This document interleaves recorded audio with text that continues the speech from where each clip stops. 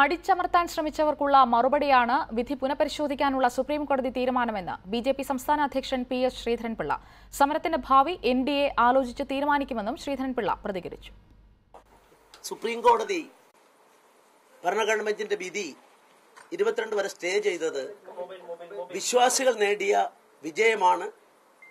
ഭഗവാൻ അയ്യപ്പന്റെ ധർമ്മ രക്ഷകനായ അദ്ദേഹത്തിന്റെ ആ സങ്കല്പത്തിന്റെ വിജയമായി ഞങ്ങൾ കാണുകയാണ്.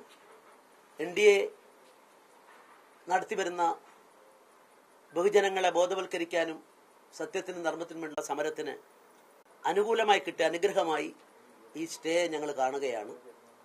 ഇത്രയും കാലം ഒരു കലാപഭൂമിയാക്കി കേരളത്തെ മാറ്റിയ കുറ്റത്തിലെ പ്രതികൾ പിണറായി വിജയനെ പോലുള്ള ആളുകൾ മുഖ്യമന്ത്രിയും സി പി എം നേതാക്കന്മാരും പരസ്യമായി മാപ്പ് പറഞ്ഞ് ഈ കളങ്കത്തിൽ നിന്നും കേരളക്കരെ രക്ഷപ്പെടുത്തണം എന്ന് ഞാൻ അവരോട് ആവശ്യപ്പെടുകയാണ്.